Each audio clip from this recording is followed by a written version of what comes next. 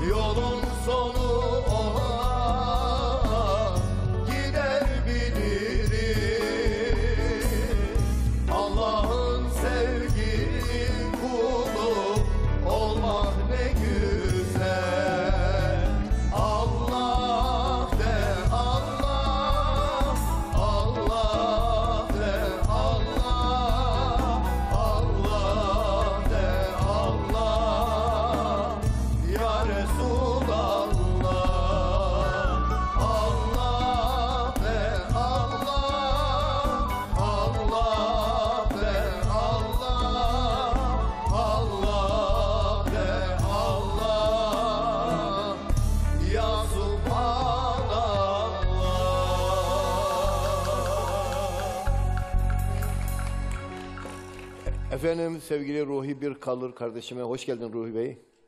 Şereflendirdin. Ayhan Sıkı kardeşim, Ayhan hoş geldin, şereflendirdin. Yepyeni bir parça ilk kez bizde okudular. Allah Allah'ım Allah. Ama biraz sonra dinleyeceğiz onu bir daha tahminime göre. Sevgili Abdurrahman Önül Diyarbakır'dan ayağın tozuyla geldi ve hemen programımıza yetişti. Abdurrahman hoş geldin. Ee, Silvan'da imiş. Ee, Abdurrahman teşekkür ediyoruz. Çok kısa bir aramız var. Tabii ben seyircileri göremedik ama e, siz gördünüz tabii ekran başındakiler. Kısa bir aramız var. Aramızdan sonra efendim buradayız ve güzel konularımız var inşallah.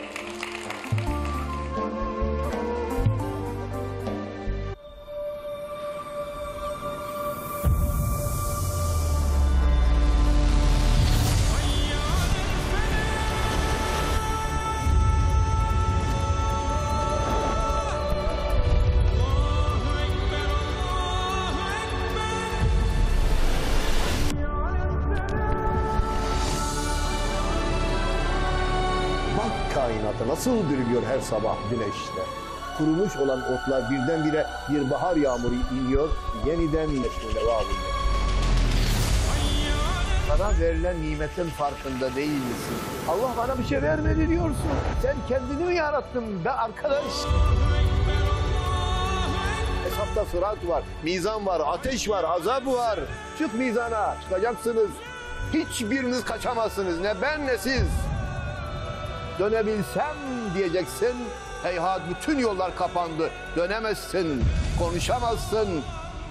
Sakın Allah'la hüsnü zannını bozma. Bil ki en daraldığın noktada Allah bir çıkış kapısı nasip edecektir. Yeter ki samimi ol.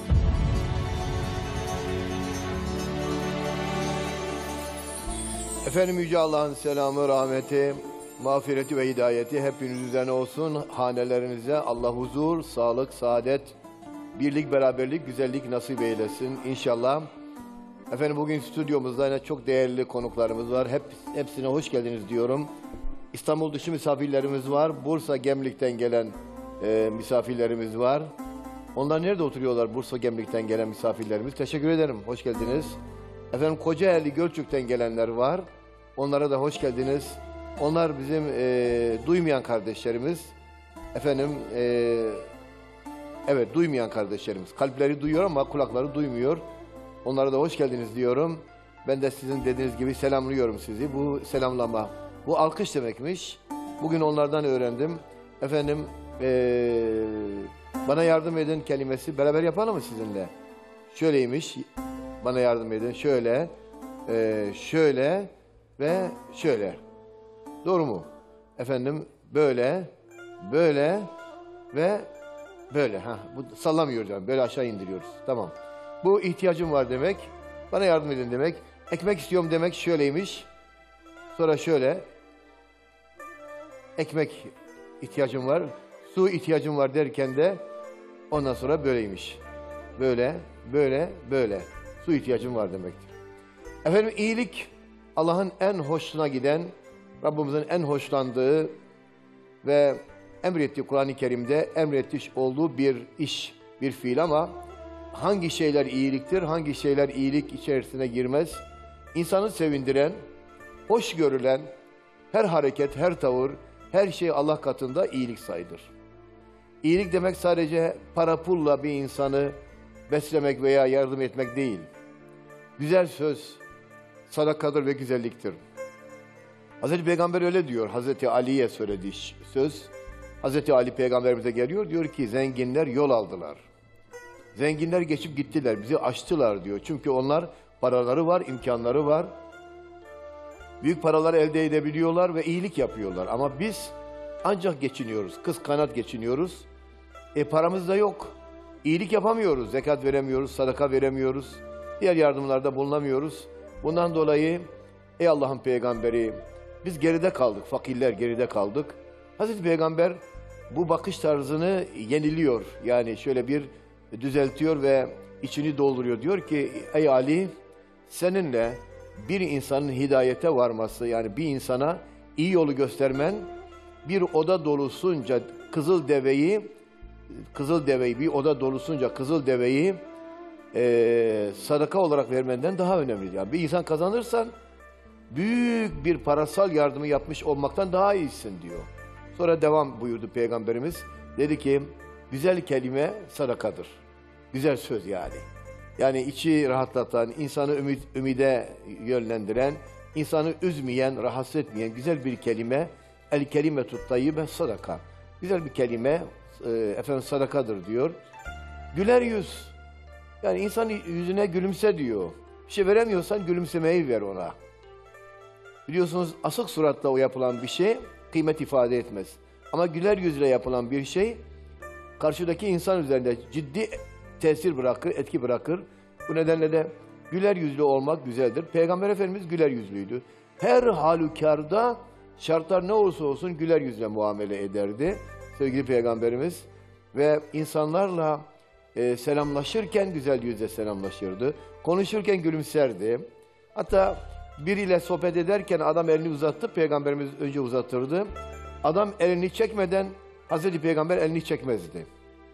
Yani adam diyelim ki bir saat tutsa dururdu orada. Ali cenab olmak lazım.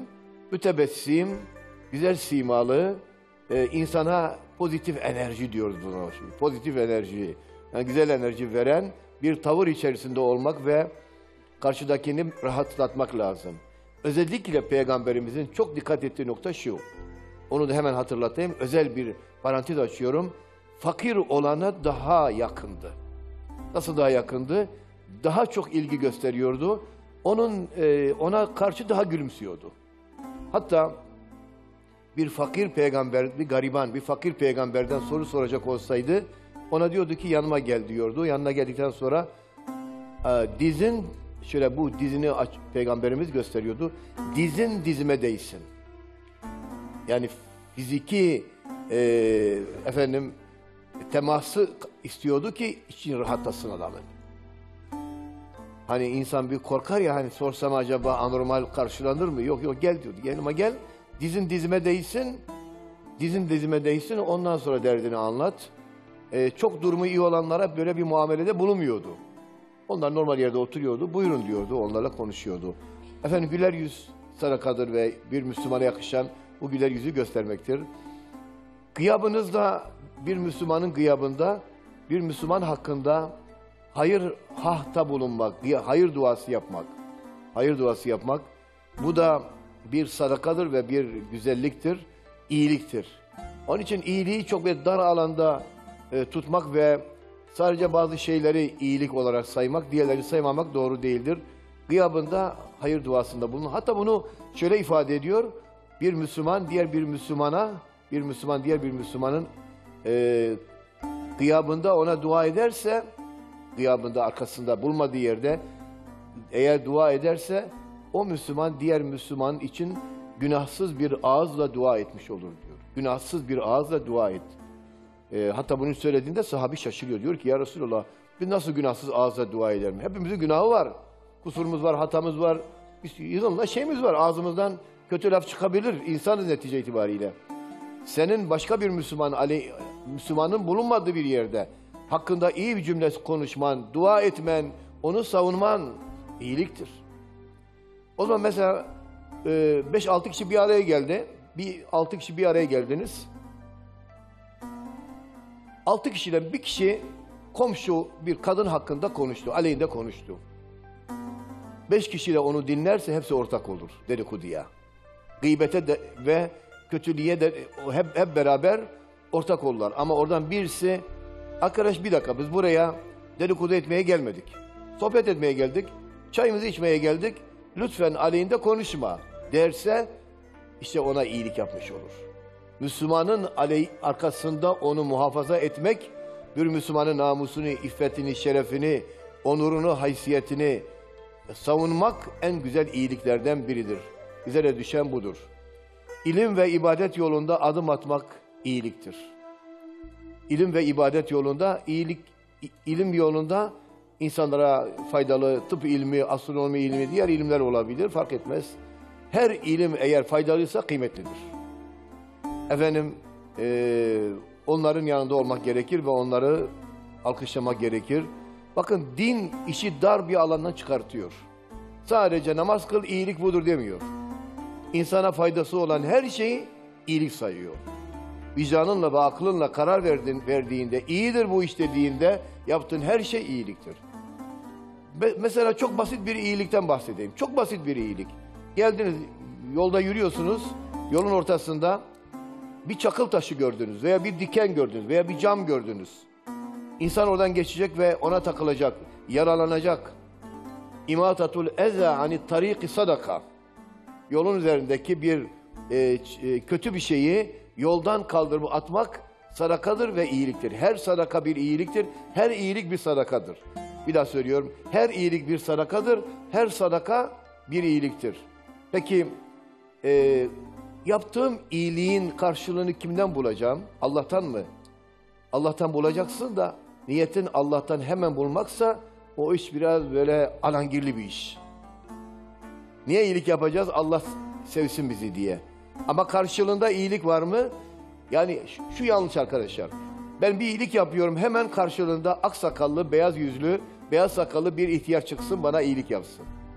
Bu beklenti yanlış bir beklenti. Allah diledi mi ak sakallı veya siyah sakallı birini gönderir. Yüzü esmer olanı da gönderir, yüzü beyaz olanı da gönderir, sana yardım eder. Melekleriyle yardım eder, emriyle yardım eder eder ama sürekli beklenti halinde olma. Mesela ben bunu görmüşümdür. Annenize yaptığınız her iyilik size geri döner. Anında hem de. Birkaç gün içerisinde mutlaka geri döner. Annenize yapmış olduğunuz iyilik. Ama beklentin bu olursa yanlış olur. Beklentin ne olacak? Allah beni sevsin. Allah benden razı olsun.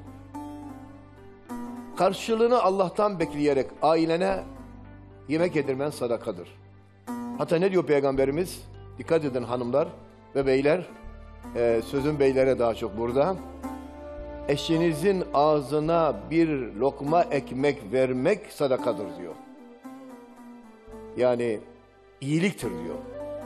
Bir daha söylüyorum. Eşinizin ağzına bir lokma yemek yedirmek, bir lokma vermek, ikram etmek yani. Hocam zaten sofrada yesin burada. Tamam yesin de sen de bir ikramda bulun yani. Hanımının kaşığını al, hanım bu eti benim hatırım için ye. Ona ikram et. Ona ikram etmen seni küçültmez, büyütür. Bu nedenle ailenize verdiğiniz her harcama iyilik ve sadakadır. Maaşını alan bir memurun annesine, e, bir çocuğuna, kızına, hanımına harcadığı her lokma iyiliktir ve sadaka ve ibadettir.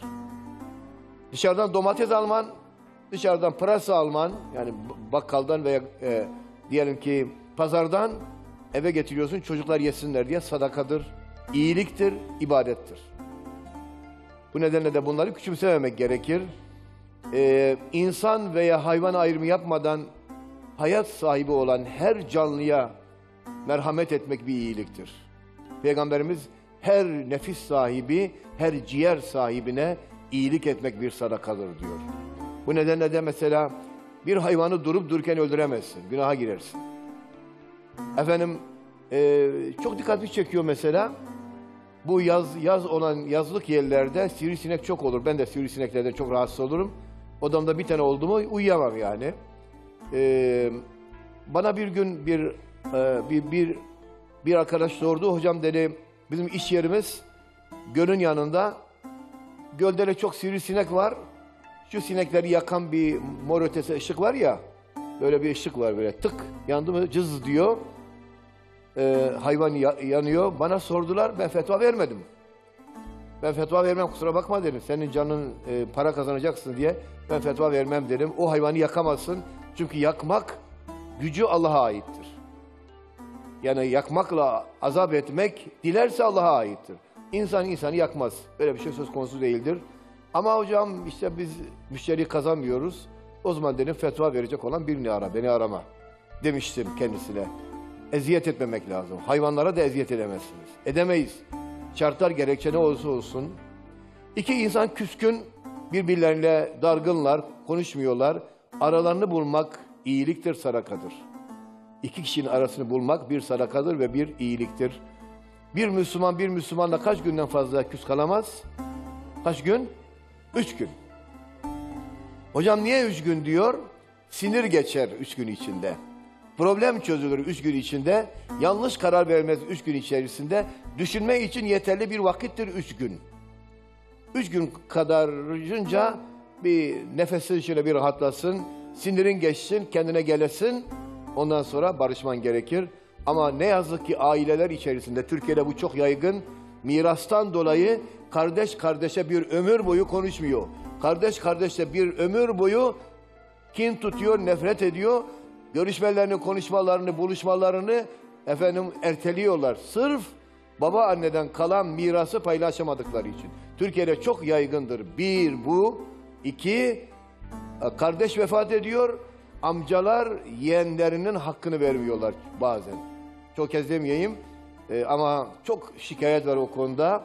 Annelerden kocam vefat etti, kardeşleriyle ortaktı ama kardeşleri kocamın vefatından sonra bizi yok saydılar. İşte evimizden çıkardılar. Bir kuruş da para vermiyorlar. Mirastan da payımızı hiç vermiyorlar diye ifade ediyorlar. Dünya hayatı için değmez. Kimseyi aldatma. Kimseyi kandırma. Kimsenin parasına, mülküne, malına, mevkiine, makamına, namusuna, iffetine göz dikme. Temiz yaşa, karşılığını temiz bulursun. Kirli yaşarsan karşılığını kirli bulursun. Nerede? İlla bu dünyada olacak diye bir şey yok. Öteki alemde bulursun. Yeter ki temiz ol, nezih ol, güzel ol, iyi ol. Allah da sana ona göre muamele edecektir. Birinin işini görmek iyiliktir.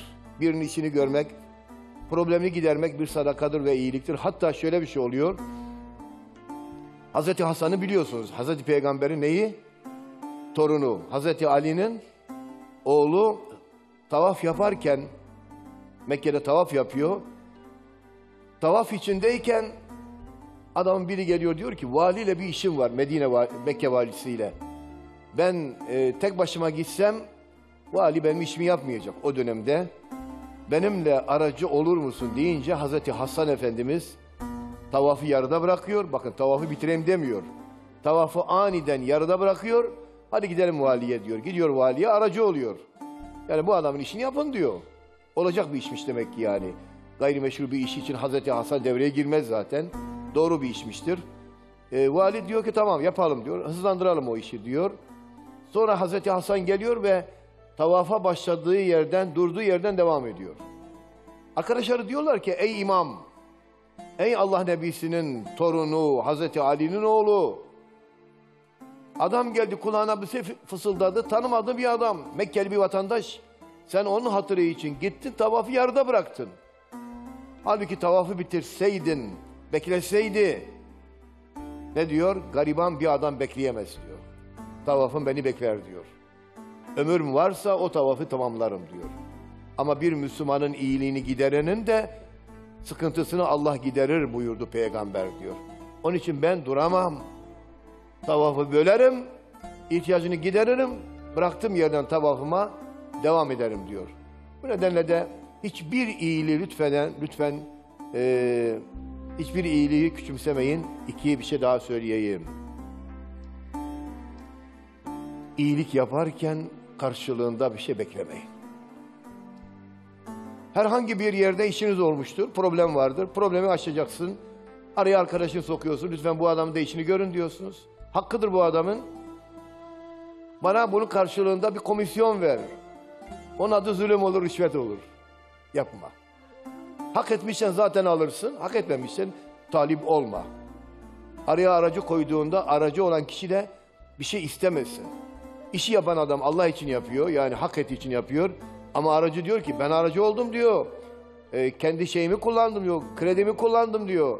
Bir kısmını da bana ver bunun. Bunun adı rüşvettir ve haramdır. İslam hak edilmeyen hiçbir hiçbir e, kazancı meşru saymaz. Yapmayacağız. Allah için yapacağız. Dua Allah'ın Allah'ın rahmeti yetmiyor mu? Dua yetmiyor mu? Her şeyden daha üstündür dua. Yeter ki gerçek manada Yüce Allah'a yalvaralım, Allah'tan dileyelim. Darda kalmışa borç vermek, karzı hasen diyorlar ona. Karzı hasen. Yani iyilik niyetiyle verilmiş olan borç. Ama insanımız şimdi borç verirken, herkes için demiyorum, e, karşılığında mutlaka bir şey alıyor. Gecikme neyi diyorlar ona? Faizi diyorlar. Canım hak ettim ben diyor. Bana geç verdin. Ya tamam 3 ay, 5 ay, 1 yıl, 2 yıl sana geç verdiyse, ciddi bir kaybın olduysa anlarım da. 2 gün ödeyemedi. 2 gün. Kıyametler koparıyor. Haciz getiriyor, gönderiyor. 2 gün. 2 güne de tahammül et. Arkadaşım 2 gün. Maalesef insanoğlu e, çok tutkulu ve çok saldırgan maddi konularda e, işte zaman geçtikçe işte o nedenle de huzursuzluk oluyor. Birbirimize karşı soğuyoruz. Emanet kayboluyor. İnsanlar birbirine güvenmiyor. Değil mi? Yanlış şeylerin peşinde koşuyoruz. insanları üzüyoruz. Borcunu ödeyemeyen kişiye mühlet ver veya alacağını indir. Adam diyor gel beni boğazımı sık diyor. Yok. 10 lira alacağın var bende diyor. 6 lira vereyim diyor. Dördüne bir iki ay müsaade et diyor hani. Toparlayan vereyim. Niyeti de iyi. Hayır diyor bugün vermezsen diyor seni perişan ederim. Yapma bunu ya. Yapma. Allah'ın kullarına merhamet et. Allah kul günah işler, işler, işler, işler, işler. En sonunda tövbe eder, affeder onu. Sen affetmiyorsun. Hatta ne diyor? Allah affeder, ben etmem diyor. Allah da seni zelil eder günün birinde. Yapma, etme, eyleme. Cancağızım, etme, eyleme. De ki Allah büyük, Allah kerimdir. Ben sana iyilik gö- göstereyim, sana yumuşak davranayım. Allah da bana yumuşak davransın. Unutma, iyilik yaptığında mutlaka karşılığını görürsün. Karşılığını görmek için iyilik yapma ama karşılığını mutlaka görürsün. Niçin öyle? Çünkü Allah adillerin adilidir ve çünkü Allah muhsinlerin muhsinidir. İyilik sevenlerin iyilik sevenidir. Allah adildir ve Allah'ın rahmeti, merhameti son derece geniştir. İyiliği Allah rızası için yap, karşılığını eee, cennete alırsın zaten. Ve bir şey daha söyleyeyim. İyilik açıkta mı yapılır, gizli mi yapılır? Ben şöyle bir sorayım müsaade ederseniz, beni bağışlayın. Arkadaşlar da kamerada görsünler. İyilik açıktan yapılır diyenler bir elini kaldırsınlar. Arkadaşlar beni görmeyin, e, seyircimizi görün. İyilik açıktan yapılır diyen birkaç kişi var. İyilik gizli yapılır diyen işte bu da bir yanlışımız bizim. Bu da bizim bir yanlışımız. İn tubdu sadakati fe naimma hiye. Ve in tuhfuha ve tu'tuha fukara fe ve hayrun lekum. Ayeti kerime. İn tubdu sadakat fe naimma hiye. Sadakaları, iyilikleri açıktan verirseniz o ne iyi bir şey. Ne güzel bir şey. Ve in tuhfuha eğer gizlerseniz ve tu'tuhel fukara gizliden fakire verirseniz fe naimma hiye sizin için ne güzel bir şey. Bakın gizli vermek kim için iyi? Veren için iyi. Allah onun şeyine yazar nedir? Ameline yazar. Bir de gizli gizli tutuğu için de riya da olmaz. Açıktan verirsen diyor o da iyi bir şeydir diyor. Niye iyi bir şeydir? Çünkü ne yapar bu? Teşvik eder. Evet. Teşvik eder. Bu sefer vermek istemeyen de vermek durumunda kalır. Belki utanma belasına, belki de hayır yapmak niyetiyle. Demek ki iyilik iki türlü de yapılabilir. Biz hep yanlış öğrenmişiz. Sadece gizli yapılır. Ee, Hazreti Ali, Hazreti Ali arkadaşlar gizli de yapıyordu, açık da veriyordu. İmam Ali'nin dört lirası vardı. Dört lirası vardı, dört altını vardı. Birini gündüz verdi, birini gece verdi. Birini gizli verdi, birini açık verdi. Bizim örneklerimiz eksik değil yani. Peygamber dönemine dönerseniz her şeyin cevabı orada var. Onun için yanlış yerde cevap aramayacağız.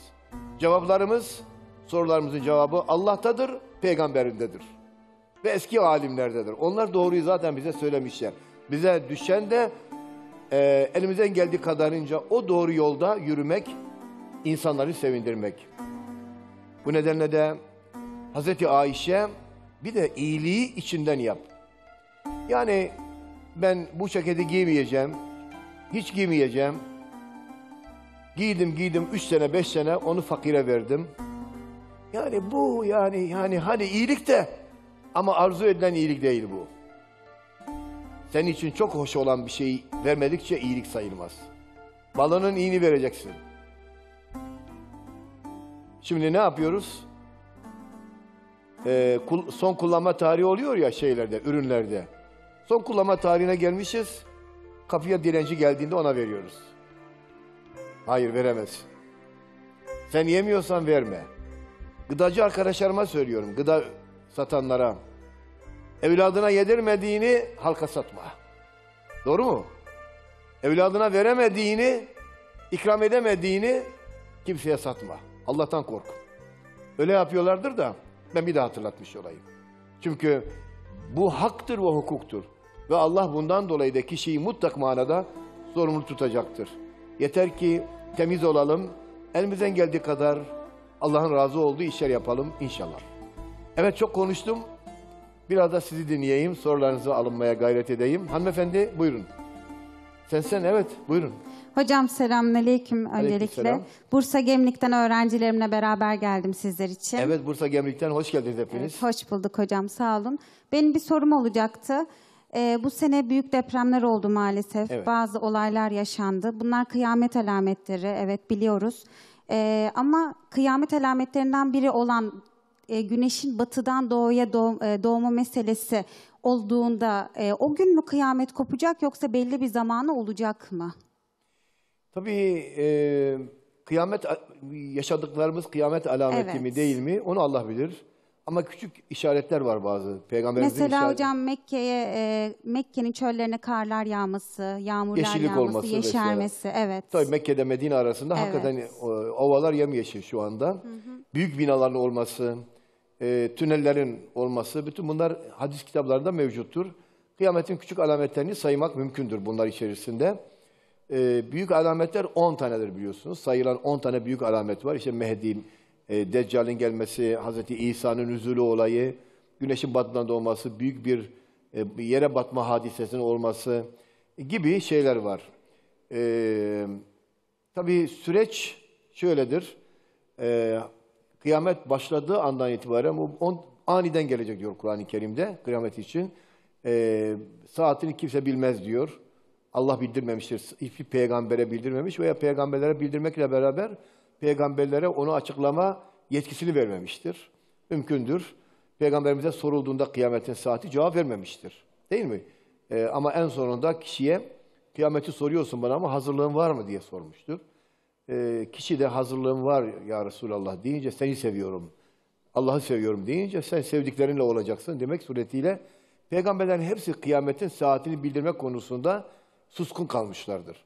Yani ya mezun değillerdi, izinli değillerdi veyahut da eee, belki de bilmiyorlardı. Allah bildirmemiştir. Bilemiyoruz tabii ki. Bazı gaybın bir kısmını Allah bildirmez. Dilediği kadarını bildirir. Cenab-ı Allah bütün gaybın anahtarı, geleceğin anahtarı Allah'ın elindedir. İşte o süreç başladığında bir iki günlük bir süreç değildir o. Çünkü güneşin batıdan doğması demek artık kıyamet koptu kopacak. Artık o andan itibaren tövbe kabul olmuyor. En büyük özelliği o. Demek ki en son işarettir o. Yani peki güneş nasıl batıdan doğacak? Evrenin gidişatı, yörüngeler değişecek, gezegenler dökülecek mi acaba? Ay güneş sisteminde neler olacak? E, güneşin batıdan doğması, e, evrenin mevcut olan sünnetullah dediğimiz fiziki kurallarının başka bir fiziki kurala dönüşmesi demektir. İşte o andan itibaren bugüne kadar tövbe etmemiş olan bir insanın tövbesi kabul olmayacaktır. Peki hocam ben Müslümanım. O anda tövbe aklıma gelmedi benim. Öyle bir hal yaşadım. Müslüman o hali yaşamayacak zaten de. Ee, siz Müslüman olmanıza rağmen o anda unutursanız bundan sorumlu olmazsınız. Çünkü kişi ölmeden önceki haline göre değerlendirilir. Mesela bir felaket geldi, bir sel felaketi geldi. Ee, kötü bir olan, çok kötü olan bir insan da o sel felaketinde öldü. Ee, çok iyi bir insandı. Herkes yaptığı kötülük veya iyiliğine göre dirilecek, hesabı ona göre verecek. Ee, teşekkür ederim. Ee, bazıları şunu e, hanım kızım şöyle yorumluyorlar. Güneşin batıdan doğması e, Batı aleminde, Avrupa aleminde ve Batı aleminde İslam'ın doğması, o ülkelerin bir kısmının İslam'ı kabul etmesi, e, diğer Arap ülkelerinde ve diğer ülkelerde ise İslami yaşamanın azalması gibi yorumlamışlar. Bu bir mecaz, mecaz demişler yani. Mecazi bir tanımdır demişler ama Allah bilir elbette ki. Devam edelim. E, kimde soru? Hocam e, Ramazanınızı tebrik ederim. Sağ olun. Herkese hayırlı sahurlar diliyorum. Benim sorum şu, e, babam 5 yıl önce vefat etti. E, benim sonradan haberim oldu. E, bana haber vermek isteyenler e, halam tarafından engellenmiş. Bunun e, merak ettiğim konu şu, e, bunun vebali nedir? Sormak Şimdi istiyorum. halanız e, durup dururken mi sizi engelledi yoksa e, hamileydiniz, bir probleminiz vardı, Yok, hayır, üzülmeyesiniz durup- diye mi? Durup dururken. Durup dururken hı, sizi evet. haberdar etmedi. hı, evet. Babanızla küs müydünüz? Yani babamla çok iletişimim yoktu. Diğer çocuklarıyla alakalı olduğu için. Aramızda öyle bir bağ yoktu ama ben en son görevimi, evlatlık görevimi yapmak e, Tabii ki sizi haberdar etmeleri gerekirdi. Evet. Sizden hı hı. sizden bu haberi esirgeyen, bu haberin Evet. ulaşmasına engel olan kişi Allah katında tabii ki sorumludur. Evet. Bunun Halanız- vebali var. Var tabii ki. Halanız da olsa çünkü sıla-i rahim, akrabalık bağlarını korumak dinin emirlerinden biridir. Kim bu emrin, bu uygulamanın olmasına engel olursa Allah katında elbette ki sorumlu olur. Teşekkür ederim. Sağ olun. Ben teşekkür ederim. Evet ilahimizi kim okuyor? Abdurrahman sen mi? Ee, Ruhiler ve Ayhanlar okuyorlar. Hadi bakalım güzel bir ilahi okuyacaklar. Dinleyelim.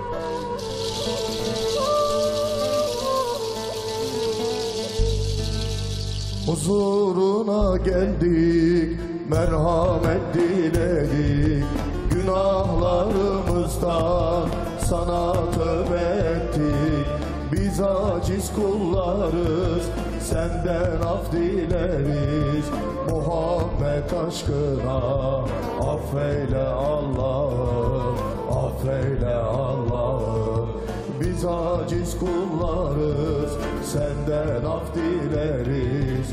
Muhabbet aşkına affeyle Allah'ım, affeyle Allah'ım, affeyle Allah'ım.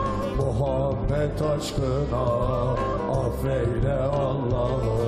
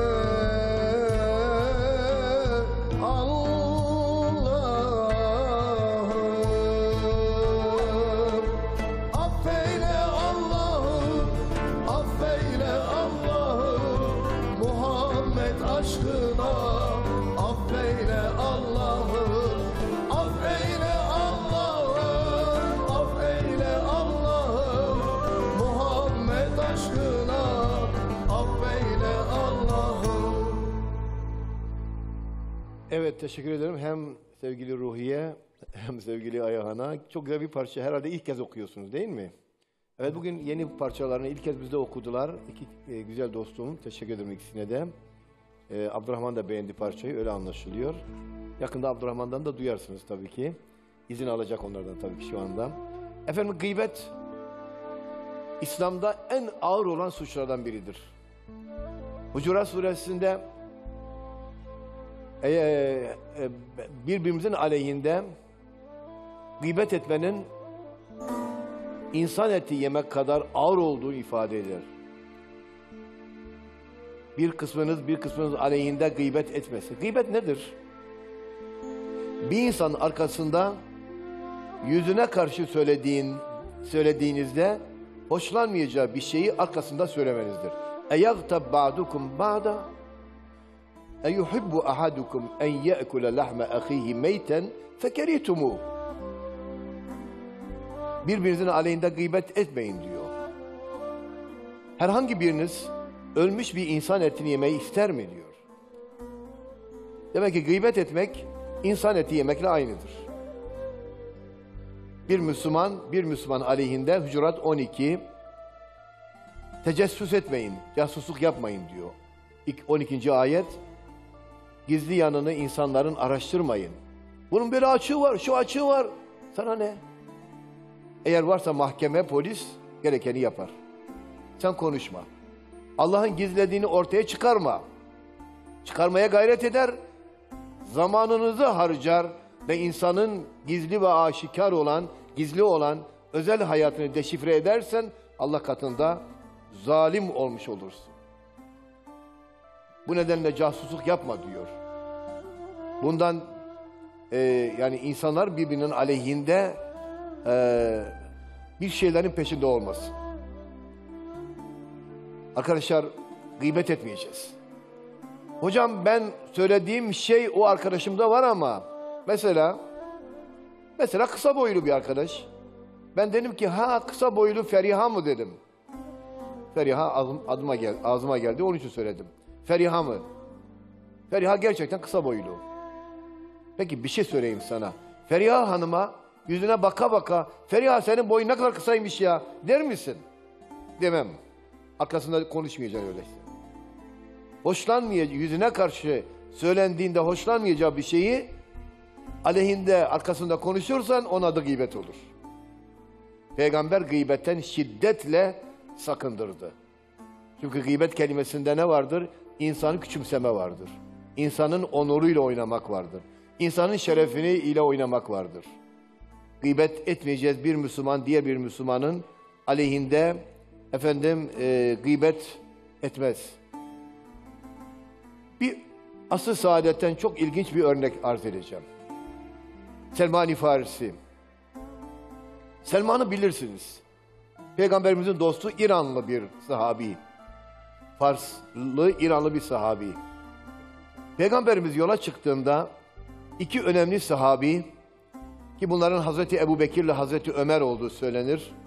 Bazı rivayetlerde isim söylenmemiştir. Selman-ı Farisi yanlarına alırlar, yol boyunca onlara yardımcı olur.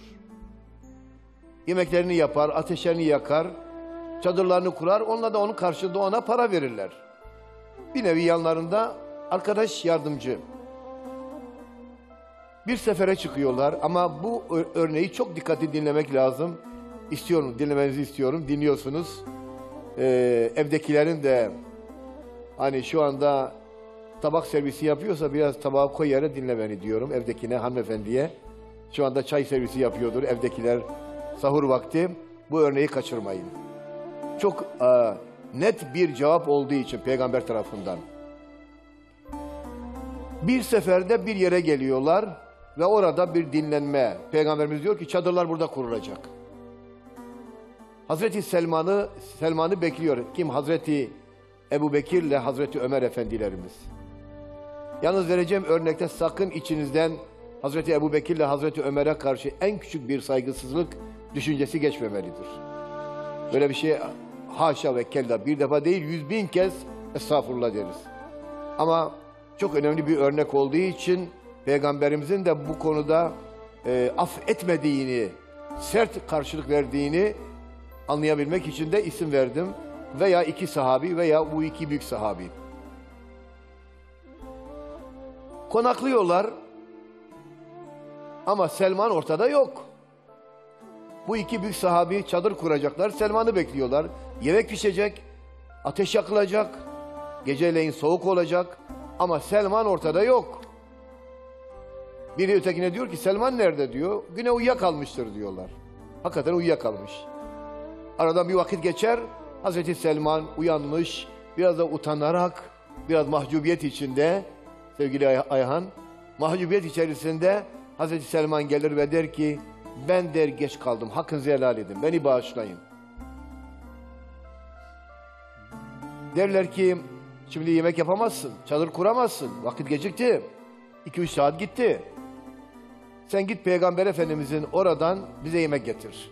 Peygamberimiz sefer sırasında yolculuklarda herkes kendine yemek yapardı. Peygamberimizin de karargahında çadırının bulunduğu yerde genel yemek yapılırdı. Yemek yapamayanlar oradan yemeklerini alırlardı.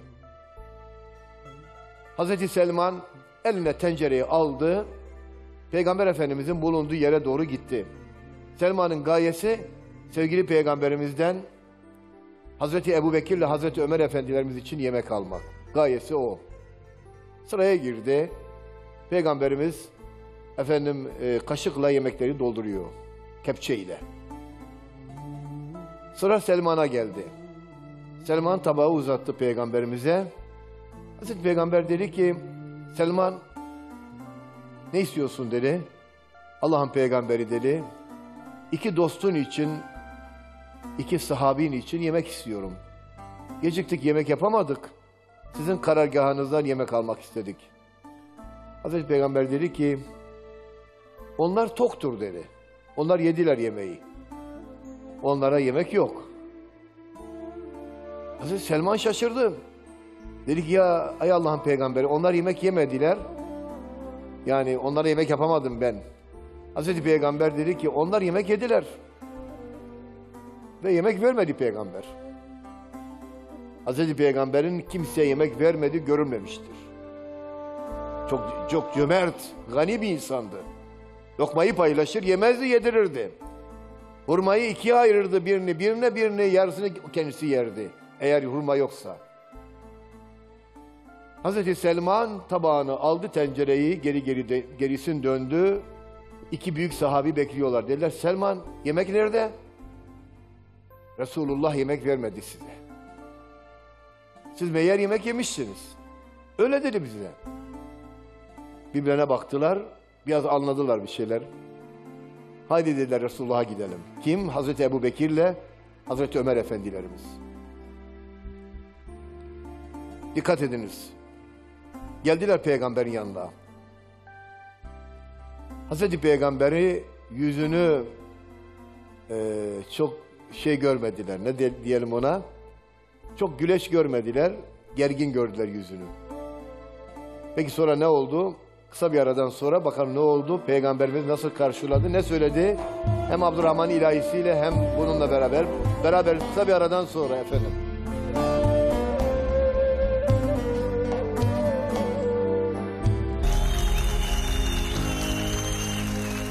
Orta boylu, ela gözlü, saçlarına ak düşmüş, oldukça yakışıklı ve güzel, halim bir peygamber. Annesi Nuna, babası Azer. Çok şey ondan gelme. İlk saçını tarayan oymuş. İlk ayakkabı giyen oymuş. İlk sünnet olan peygamber. Büyük çilelerin ve imtihanların peygamberi. Kur'an onun için içli adam der. İbrahim aleyhisselam. Sahte ilahlar edindiniz. Allah varken kimin peşindesiniz diyordu. Elindeki baltayla bütün putları kırıyor. Ta, ta, ta. Nemrut çıldırıyor. Atın bunu ateş ederim. Yakmayan ateş, kesmeyen bıçak. İbrahim Allah'ın rahmeti ne kadar çok. Hazreti Resulullah'ın babası sayılan İbrahim peygambere selam olsun. Efendim bütün peygamberlerin babası sayılan İbrahim Aleyhisselam'a binlerce selam olsun. Hazreti Peygamber'in yanına iki dost geldi. Yemek verilmeyince, bir seferde yemek verilmeyince iki dost geldiler. Hazreti Ebu Bekir ve Hazreti Ömer. Dediler ki Allah'ın peygamberi siz Selman'a ikisi tokturlar demişsiniz. Ne ben ne Ebu Bekir yemek yemedik. Acaba anlamadığımız bir şey mi oldu? Yani kaçırdığımız bir şey mi oldu? Hazreti Peygamber sözünü hiç esirgemedi. Çünkü o peygamberdi, o hüküm koyuyordu. Çünkü Kur'an ona geliyordu. Ona Kur'an-ı Kerim'i açıklama görevi verilmişti. Döndü ve Hazreti Peygamber iki çok sevdiği, aziz gördüğü, sağ eli ve sağ kolu gibi gördüğü iki dostuna dedi ki, demin Selman'ı yediniz, bitirdiniz, doymadınız mı? Demin Selman'ı yediniz, doymadınız mı? Bin granit taşından daha ağır bir cümle bu aslında. Selman'ı yediniz, yetmedi mi? Peygamber bazı şeyleri affetmiyor. Konuşulması gereken yerde taşı gediğine koyacaksa koyuyor, gönül de alıyor ama hükmünü de koyuyor. Bu nedenle de gıybet bir Müslümanın aleyhinde arkasından konuşmak en büyük günahlardan biri olmuştur. Miraç'ta Hazreti Peygamber gıybet edenleri gördü. Akıbetlerini gördü. Hangi ceza ile cezalandırılacaklarını, hangi musibet ile du- musibete duçar olacaklarını, hangi şeyle muhatap olacaklarını gördü ve söyledi ve aktardı bize. Şöyle diyor. Ben miraca çıktığım gece bir kavim gördüm. Bir topluluk gördüm. İleride olacağı işareten peygamberimize Miraç'ta cennet ve cehennemden bazı manzaralar gösterildi. İleride olacak şeyler ona gösterildi. Hani fragman diyorsunuz ya televizyonculukta vardır. İleride gösterilecek olan şeylerin bir özetini, bir tak takdimini ise gösterir televizyoncu. Sonra arkası yarın der, devamı gelecek. Tıpkı onun gibi bir fragmanı seyreder gibi Hazreti Peygamber baktı ki bir topluluk var, yanlarından etleri kesiliyor. Etlerini yiyorlar. Lime lime etleri onlara yediriliyor. Kolları kesiliyor, ayakları kesiliyor, belki dili kesiliyor, belki şurası burası kesiliyor ama kesilen bütün uzuvları bir bir onlara yediriliyor. Hazreti Peygamber dehşet içinde kaldı. Kendi eti yedirilen kim bunlar dedi. Onlara deniyordu ki kardeşlerinizin etini yediniz, şimdi de kendi etinizi yiyin bakalım. Allah Nebisi hayret içerindedir. Cibril kimdir bunlar dedi. Bu şekilde azap gören kim bunlar? Bunlar dedi ey Allah'ın peygamberi gıybet edenler. İnsanların aleyhinde konuşanlar, insanları birbirine vurdurmaya çalışanlar, küçük bir dünya menfaati için, parsel kapmak için, mevki makam kapmak için, dünyalık kapmak için, mal kapmak için, şu veya bu kapmak için başkalarının aleyhinde kumpas kuranlardır. Yani gıybet edenlerdir. Doğrusu öyle olmamak lazım. Ne olmak lazım? Samimi, temiz ve dürüst olmak lazım. Eskiden Hazreti Peygamber döneminde gıybetin kokusu vardı. Gıybetin kokusu vardı. Bir yerde Allah bir Müslümanın aleyhinde konuşuldu mu oranın kokusu değişirdi.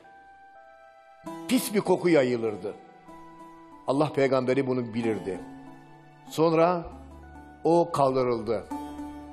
Niye kaldırıldı? Kaldırılmadı da biz duymaz olduk. Çünkü her birimiz gıybet eder olduğumuz için burunlarımız o kokuya alıştı. Burunlarımız o kokuya alıştı, duymaz olduk. Aslında gıybet eden her yerde çirkin bir koku yayılır, ruh, ruhaniyetsizlik yayılır.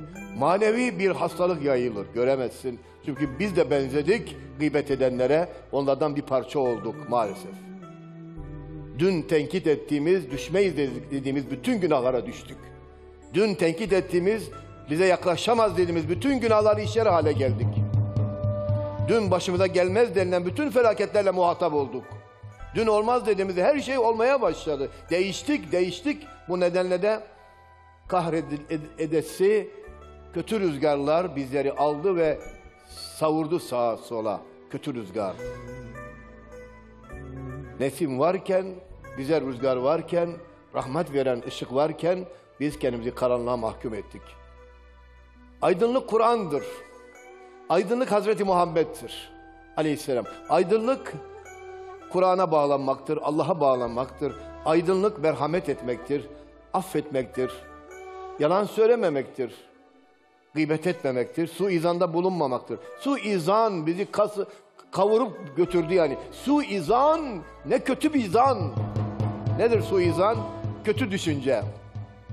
Tanımıyorsun adamı, bilmemişsin, görmemişsin, konuşmamışsın, arkadaşlık yapmamışsın, alışveriş yapmamışsın. Aleyhinde habire atıp tutuyorsun. Gördün mü, konuştun mu, komşuluk yaptın mı, alışveriş yaptın mı? Hayır, suizan.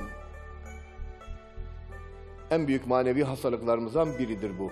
Allah bizi bu zanlardan, bu kötü zanlardan uzak eylesin ve Hazreti Ayşe'ye dediği şeyi nefsimize söylemeyi nasip eylesin. Bir gün peygamberimiz girdi. Dedi ki kimdi bu kadın yanınızda? Ayşe'nin yanına, Hazreti Ayşe annemizin yanına bir kadın girmiş. Bir problemi var. Hazreti Ayşe dedi ki "Ee, o o kötü o uzun şey kısa boylu kadın kim bu? Kısa boylu kadın. Hazreti Peygamber dedi ki Ayşe sen gıybet ettin. Yandık. Her birimizin sofrasında en büyük katık gıybet katığı. Değil mi? Oturuyoruz sofraya bitirinceye kadar. Bir de haberleri izliyorsak, bir de hani münakaşa programlarını izliyorsak, kaç kişinin etini yedik kim bilir? Kaç gıybet ettik? Kaç yer devirdik? Kaç ocak söndürdük kim bilir? Hazreti Ayşe dedi ki Allah'ın peygamberi dedi o kısa boylu dedi. Yani ben gıybet etmedim ki. Onda olan bir özelliği, eksikliği onun arkasında söyledim bu gıybettir. Onda olmayan bir şey söyleseydim iftira olurdu dedi. İki kardeş iftira ve gıybet birbirinin ne kadar yakın arkadaşı. İftar sofralarımızda dahi gıybeti katık ediyoruz. Meze gibi yani. Halbuki gıybet insanların iffetine saldırıdır. Hocam et, herkes gıybet ediyor, sen etme. Herkes kendi mezarına girecek. İki buçuk meza, metrelik mezara sen kendi mezarına gireceksin. O da kendi mezarına. Senin günahından o, onun günahından sen sorumlu olmazsın. Baba evladından, evlat babasından günah, dolayı günahkar sayılmayacak. Vela teziru vaziratun vizra uhra. Hiç kimse ötekinin günahından sorumlu değildir. Onun için affedici ol, gıybet etme, dürüst ol, temiz konuş ve temiz ol. Efendim mahşer aleminde en önemli detaylardan biri ne? Sırat var, terazi var, cennet var, cehennem var, Kevser havuzu var, bir de hesap var. Bir de amel defteri var. Hocam nedir bu amel defteri? Katip meleklerin, hafaza meleklerinin yazdığı bir defter. Hepinizin defteri var. Hepimizin. İnsan kadarınca depre, şey var, defter var. Bu defterde ne yazılıyor? Bütün iyilikleriniz, bütün kötülükleriniz. İyiliklerimiz, kötülüklerimiz. Unuttuğumuz şeyler bile o defterde yazılı, hatırlamadığımız şeyler bile orada yazılı. Sen 40 sene önce işlemişsin bir günah, birinin kalbini kırmışsın, birine sert bir cümle kullanmışsın. Zaman geçmiş, unutulmuş, unutmuşsun ama Allah, Allah unutmamış. Amel defterine yazıyorlar melekler. Sağdaki iyilikleri yazıyor, soldaki kötülükleri yazıyor. Kötü amel işleme. Ne diyecek insanoğlu amel defteri eline vardığında? Vay be diyecek. Vay canına. Allah küçük büyük hiçbir şey unutmamış. Affedilmiş günahlar da orada yazılacak ama üstü çizgili olacak. Bundan sorumlu değilsin. Kabul edilmiş dualar da yazılacak, önüne çıkacak bunlar. Herkesin amel defteri var. Amel defteri dağıtıldığında ki amel defterinden Kur'an-ı Kerim bahseder. Kitap diye bahseder. Herkesin kitabı dağıtılacak. Tıpkı dosyalar gibi. Her Türk vatandaşının dosyası yok mu emniyette? Şurada burada var. Sizin de GBT'niz, dosyanız, güvenlik soruşturmanız, ameli soruşturmanız, imani soruşturmanız hepimizin. Günah soruşturmamız, iyilik soruşturmamız, hasenat soruşturmamız, seyyah soruşturmamız hepsi orada yazılıdır. Bir şey daha yazılı, kimsenin bilmediği şeyler yazılı. İnsanın kendi babasının, anasının bile bilmediği, insanın bile unuttuğu günahlar yazılı. Nasıl olur bu? Kafandan düşünüyorsun, yapmak istiyorsun, yapmıyorsun. Sonra da vazgeçiyorsun, onlar dahi orada yazılı. Kimi insanın amel defteri sağ elinden verilecek. Sağ elinden alacak amel defterini. Kimi sol elinden alacak. Kimi arkadan alacak, kimi önünden alacak. Sağ elinden alan kurtuldu demektir. Sol elinden alan yandı demektir. Önünden alan kurtuldu demek, arkasından alan yandı demektir. Eshab-ı yemin ve eshab-ı şimal Kur'an'ın ta- Kur'an'ın tarifidir. Sağcılar ve solcular.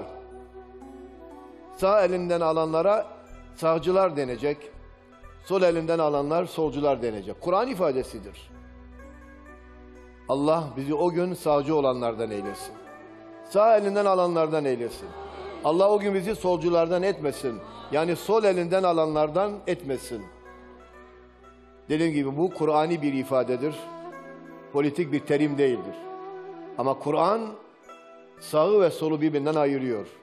Aynı vücutta sağ ve sol temiz olanı sağa veririm, kirli olanı sola verdiririm diyor. Bu nedenle de sağ elinle almaya çalış kitabı.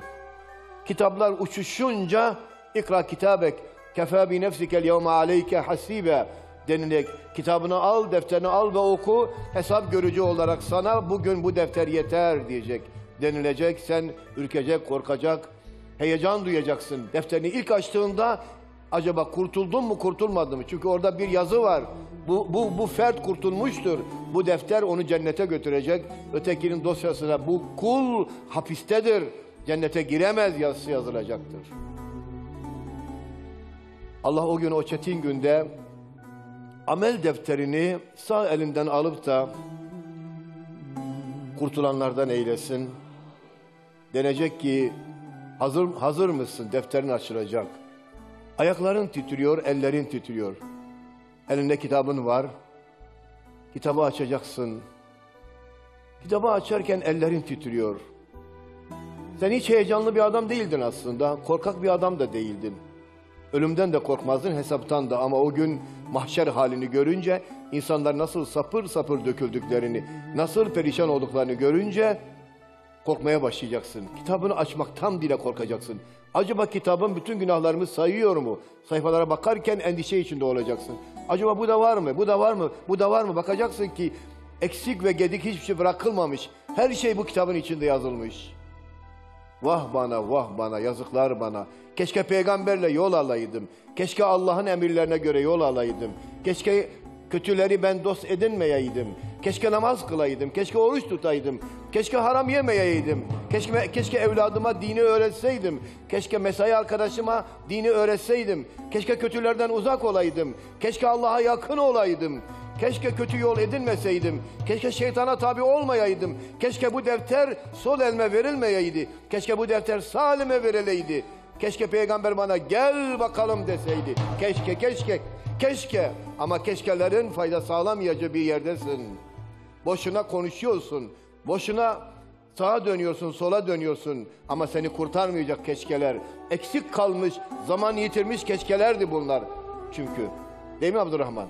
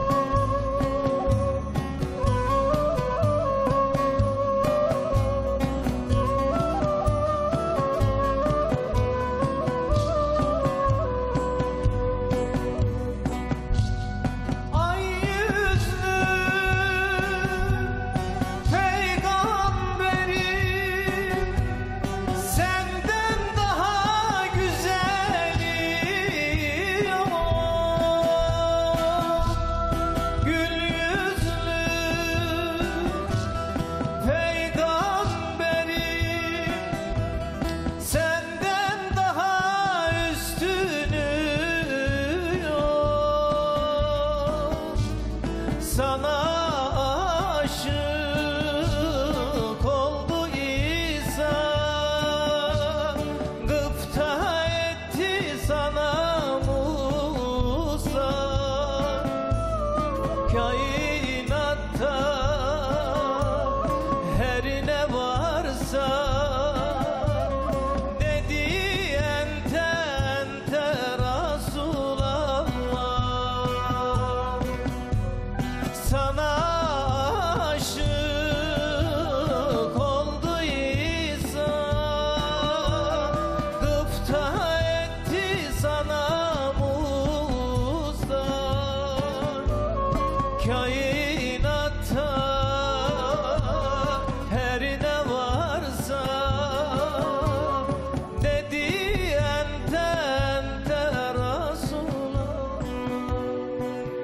Çok gariptir.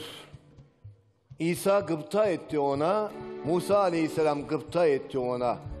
Övündü onunla İbrahim aleyhisselam gelmeden çok yıllar öncesinde adı yazıldı. Adı yazıldı cennetin kapısına. La ilahe illallah Muhammedur Resulullah yazıldı cennetin kapısına. Allah'tan başka yaratıcı yok. Allah'tan başka tapınılacak güç yok. Muhammed onun son elçisidir yazıldı ama sen gıpta etmedin ona. Ne yazık ki Adem onunla övündü, İbrahim onunla övündü. İsa gıpta etti ona ve ümmetine. Musa aleyhisselam sevindi ona ve ümmetine ama sen unuttun onu. Sen peygamberi anmadın, anamadın. Onun ahlakıyla ahlaklanmadın. Namaz kıldın ama yalan söyledin. Alışveriş yaptın ama hile kattın alışverişine. Sen Müslüman, adın Müslüman, sanın Müslüman, baban Müslüman, annen Müslüman. Hatta akrabalarında hocalar var, imamlar var, müezzinler var, müftüler var belki. Belki daha büyük makamda insanlar var ama istifade edemedin. Sen günahların günahlar içerisinde kendini bir anda kaybettin, dönemedin. Dönü, dönüştüremedin kendini. Şeytanla bütün bağlarını koparamadın. İblise dur bana hüküm, hükümran olamazsın dedin sen. Şimdi seni çağırıyorlar. Hadi gel hesaba hesap ver bakalım.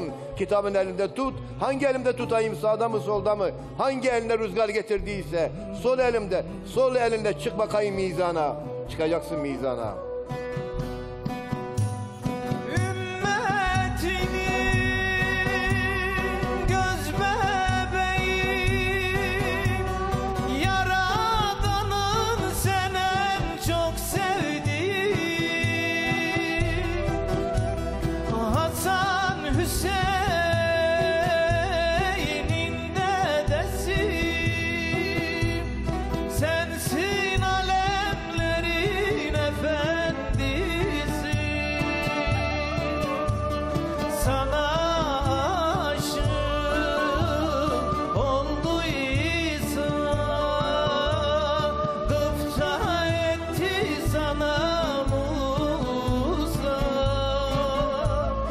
kainatta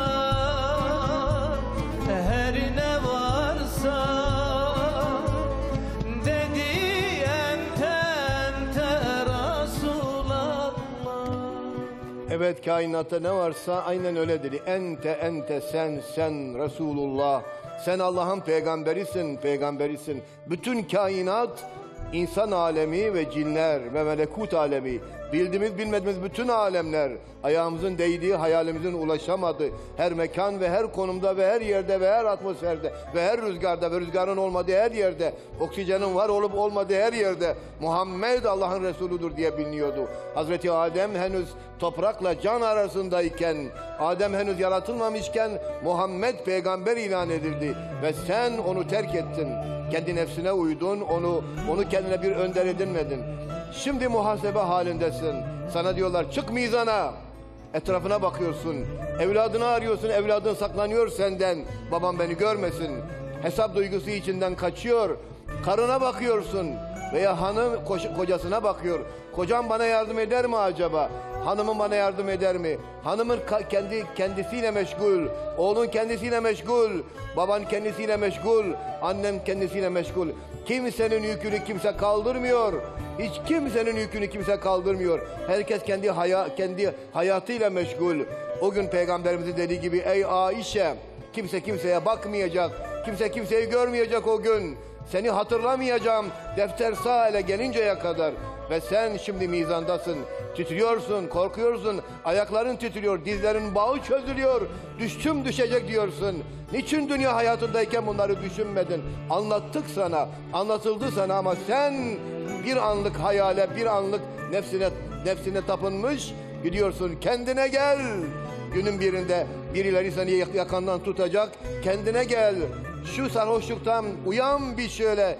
Alemi gör, mahşeri gör ve hesabını yap dediler. Ama sen alay ettin. Sen işin dalgasındasın. Sen işi ciddiye almadın. Yanlış içinde, yanlış içinde çabalıyorsun. Kaybediyorsun. Kaybedenlerden oluyorsun.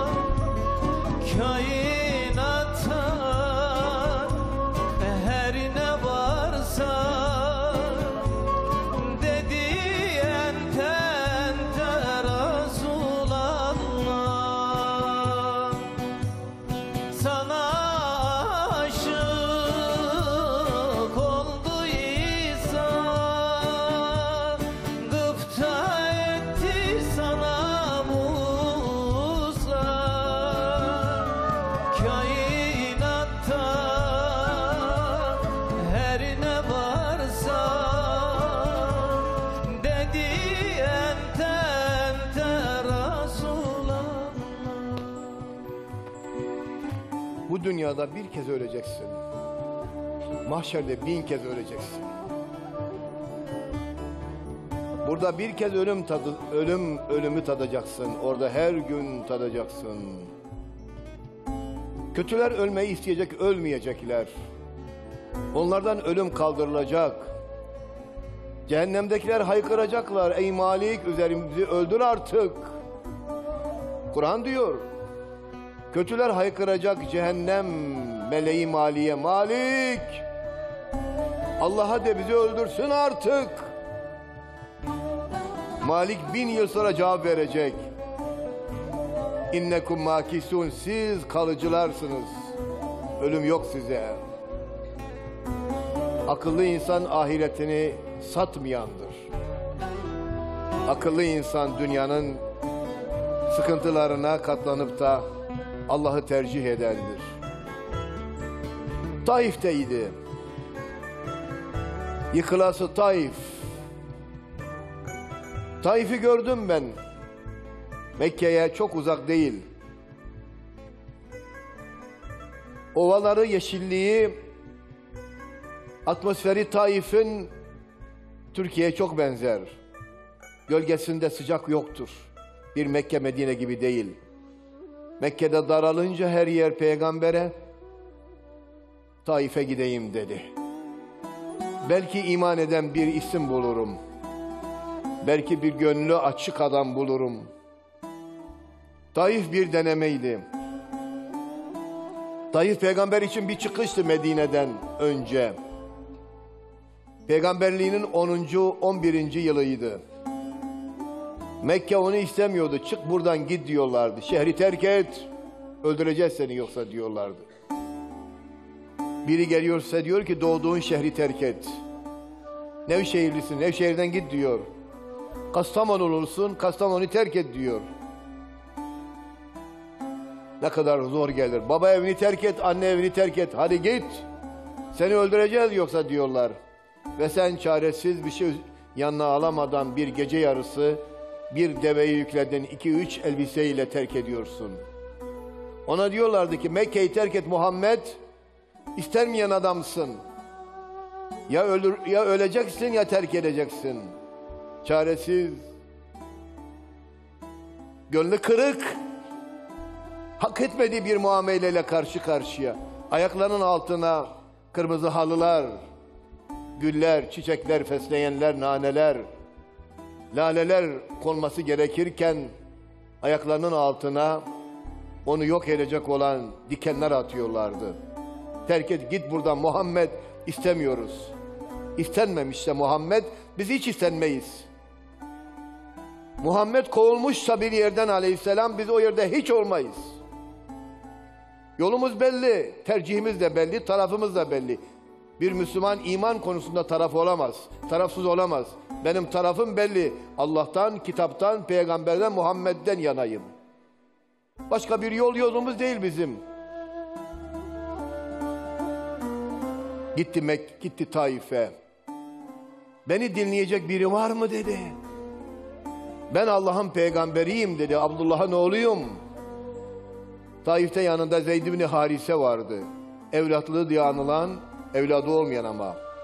İyi onu beslediği, büyüttüğü için evlatlı diye anılan Zeyd vardı. Hazreti Zeyd'le beraber Taif'teydi. Taif'in yüreklerine, Taif'in gönül alabilecek, laf duyabilecek, laf anlayabilecek kulaklarına hitap etmek istiyordu. Sağır kulakları, Taif'in sağır kulaklarını açmak istiyordu. Ama Taif bir bariyer kurmuştu. Üç gün kaldı, dört gün kaldı. Yer yer top, dolaştı. Kapıları çaldı. Meydanlarda konuştu, mekanlara gitti. Dedi ki Taif halkı Allah birdir. Putlardan bir medet ummayın. İnsan şeklinde put yaptınız. Hatta peygamberlerin suretini puta çevirdiniz. Onlara tapındınız. Gelin Taif tövbe edin. Allah'a dönün dedi. Taifler dediler ki kulaklarımız duymuyor seni. Ne anlatıyorsun dediler. Biz kendi dinimizi bırakıp Muhammed başka bir dine mi tapınalım yani? Biz ilahlarımızı bırakacak mıyız? İlahlarımız bizim gelirimizdir. İlahlarımıza kurbanlar geliyor, altın gümüşler geliyor, ipekler geliyor. İlahlarımız giderse bütün bu geçim yolları kapanır. Çünkü peygamber kurulu düzenlerini yıkıyordu. Düzeni yıkıyordu. Kara paranın yollarını tıkıyordu. Putlara gelebilecek olan bütün paraların, sermayenin, kirli sermayenin yolunu makasla kesiyordu. Hazreti Peygamber'in peygamberliğine düşman değillerdi sadece. Peygamber onların pazarını bozuyordu. Karanlık köle pazarlarını bozuyordu.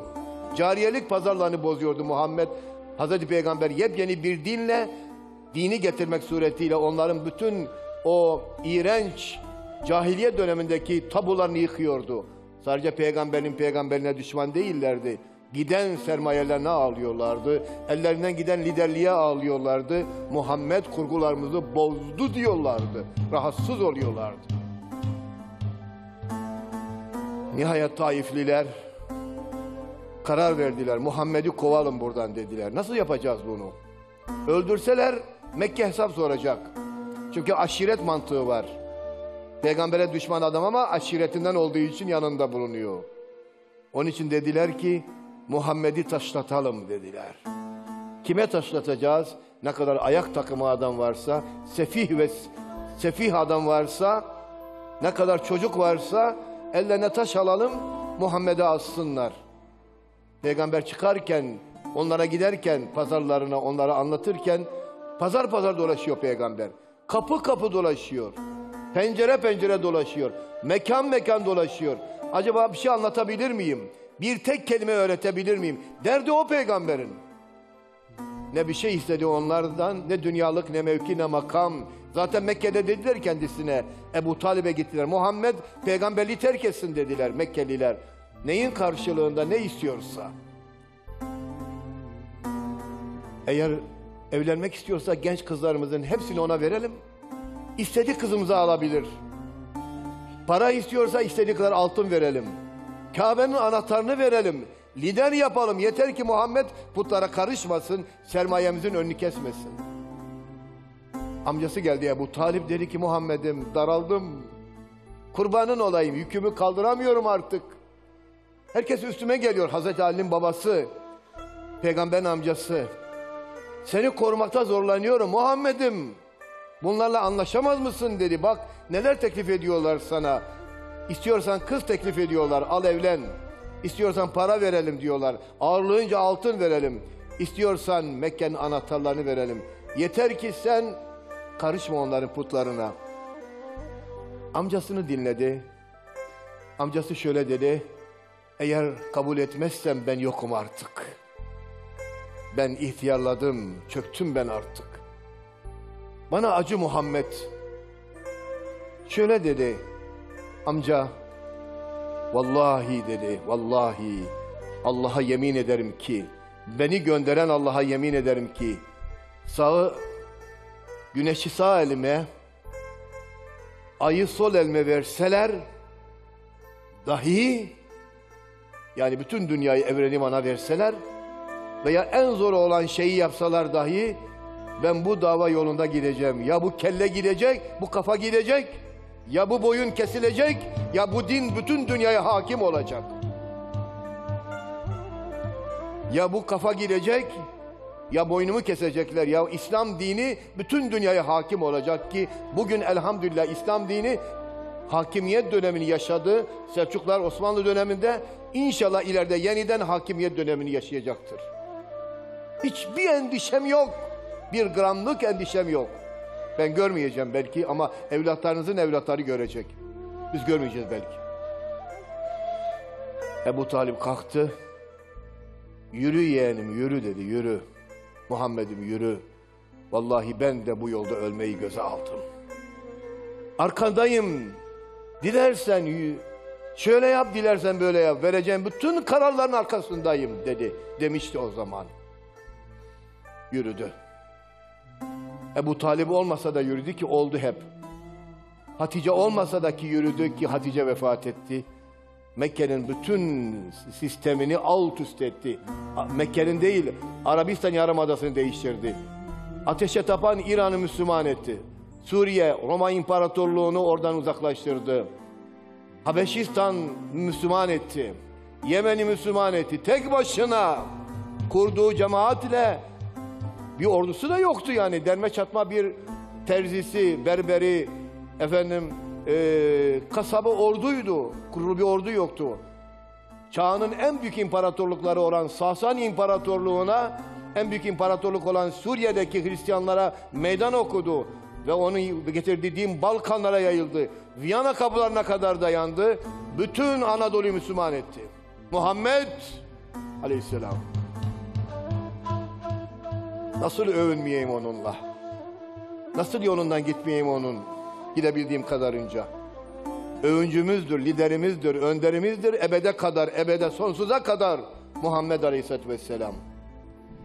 Cemalin ay gibi senin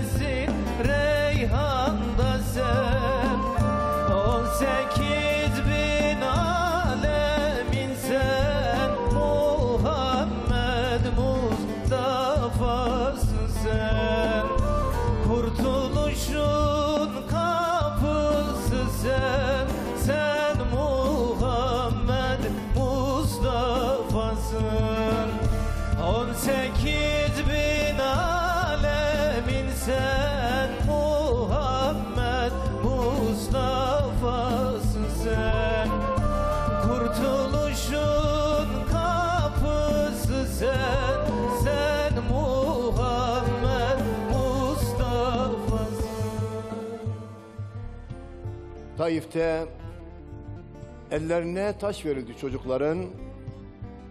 Serseri takımının ellerine taş verildi. Muhammed'i taşlayın dediler. Ellerinden gelen taşları atıyorlardı ona. Ellerinden gelen taşları atıyorlardı. Gül atılması gerekirken taşa muhatap oluyordu. Gariptir dünya. Taş yiyecekler, gül yiyorlar. Gül yiyecekler, gül atılacaklar. Ayaklarına güller konulacaklar. Taş yiyorlar. Dünya garip. Sevdalar garip. Tercihler garipleşti. Yanlış yola girdik. Yanlışın farkında değiliz. Arabalar gelirken ters yola girdik dedi ki bütün arabalar ters yolda. Halbuki ben ters yoldayım farkına varmadım. Hayatım böyle ters gitti. Boşu boşuna gitti. Ne hesap sordum, ne kendimi eleştirdim, ne aynaya baktım, ne de muhasebe ettim. Sandım ki hep dünya böyle olacak. Gün geldi baktık ki baktık ki ne güneş var ne ay, ne kamer var, ne necim, ne yer var ne gök, ne anne var ne baba. Hepsi gitmiş yalan olmuş yalan. Döndüm dolaştım ama çare yok. Çocuklar taş atıyorlar peygambere. Zeyd ibn Harise bütün vücuduyla peygambere siper oluyor. Üstüne abanıyor. Bana atın bana diyor. Ona değil bana atın. Taşlar değiyor peygamberin ayaklarına. Kan damlıyor. Mübarek yüzüne taşlar değiyor. Kan damlıyor. Zeyd Harise bütün taşları üstüne çekmek istiyor. Hızla çıkıyorlar Taif'te, Taif'ten. Çünkü dağların meleği o an görünüyor. Diyor ki Muhammed arzu ediyorsan, Muhammed arzu ediyorsan Taif'in dağlarını yıkayım, bütün Taif'i yerle bir edeyim. Hayır diyor. Hayır diyor. Sen nebiler nebisisin Sen Kevser'in sahibisin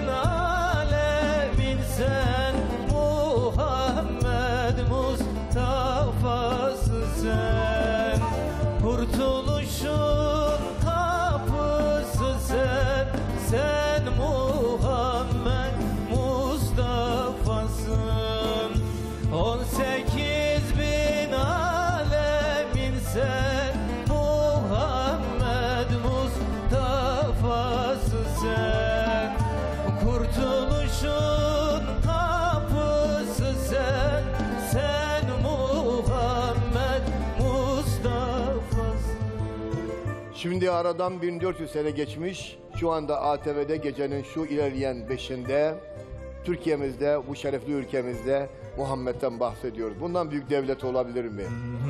Kim bilirdi tek başına Mekke'de çıktığı gün dünya böyle değişecek. Devran değişecek. Bütün gönüller ondan bahsedecek. Kim bilirdi? Kim bilirdi?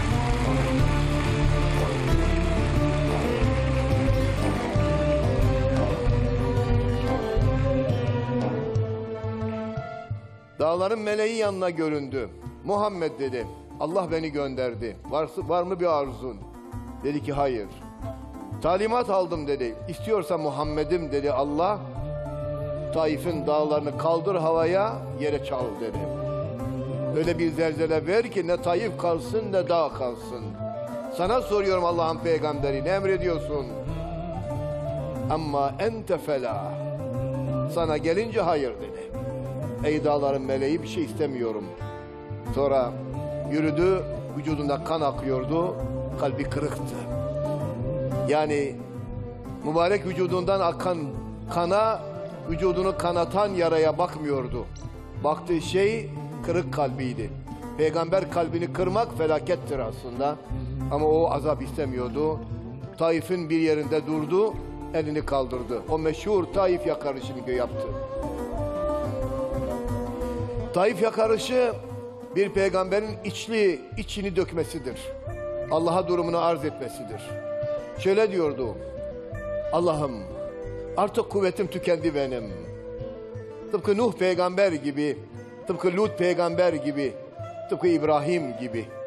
Allah'a derdini arz ediyordu. Allah'ım kuvvetim tükendi artık. Sana arz ediyorum halimi. Gücüm azaldı ya Rabbi.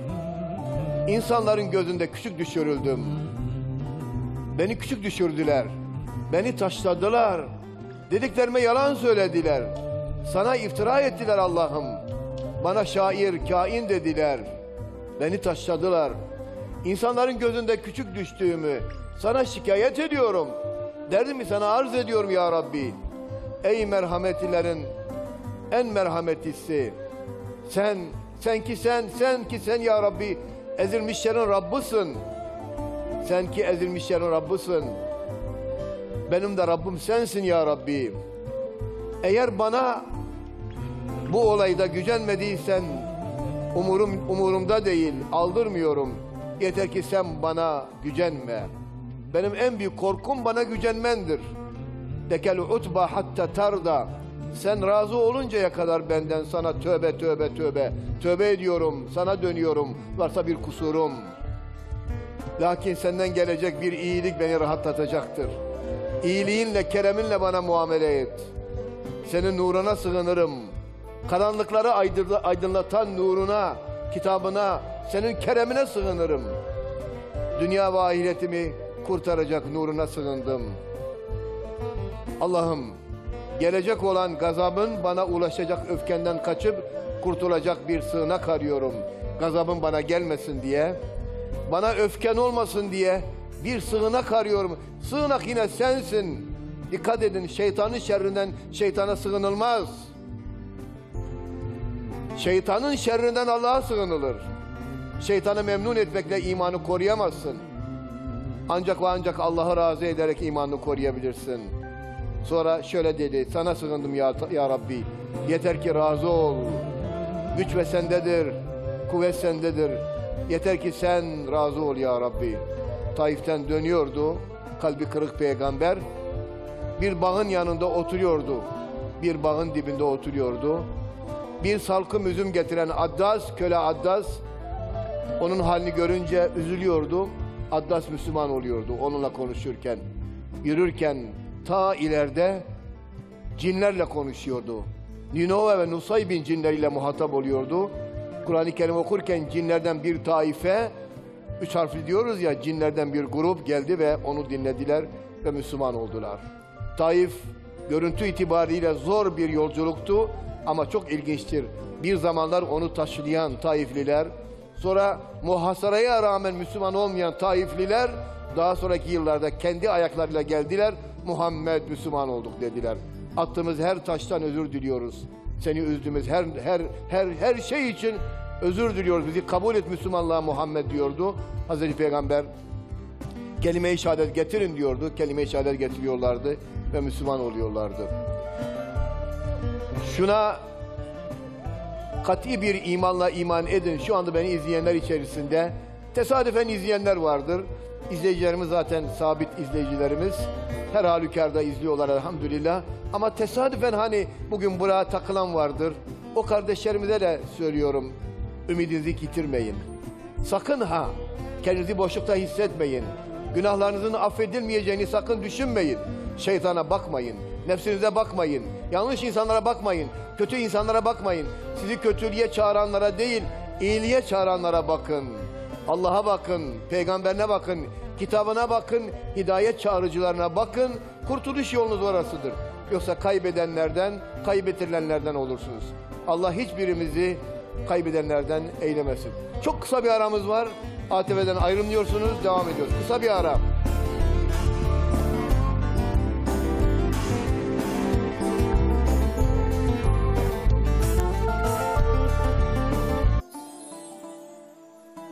Efendim yeniden selamların en güzeliyle beraberiz. Mahşerden bir manzara. Küçük bir manzara sadece. Terazi kuruldu. Herkes teraziden geçti.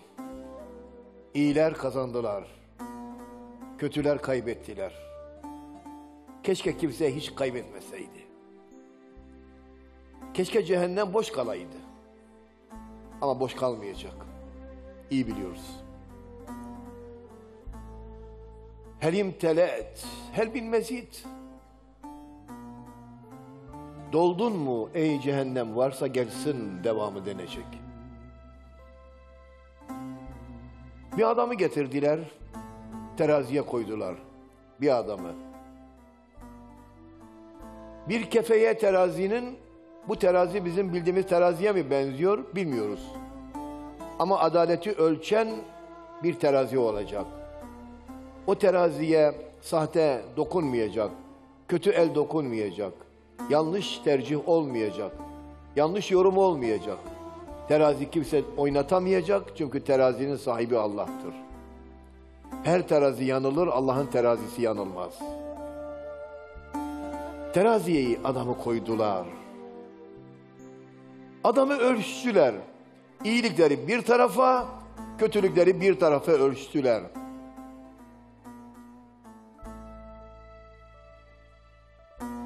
Eşit geldi iyilik ve kötülük. Yani cennetle cehennem arasında arafta bir yerde. Cehenneme mi girecek, cennete mi girecek henüz hüküm verilmemiş, karar verilmemiş. Sonra bir, bir şey buldular.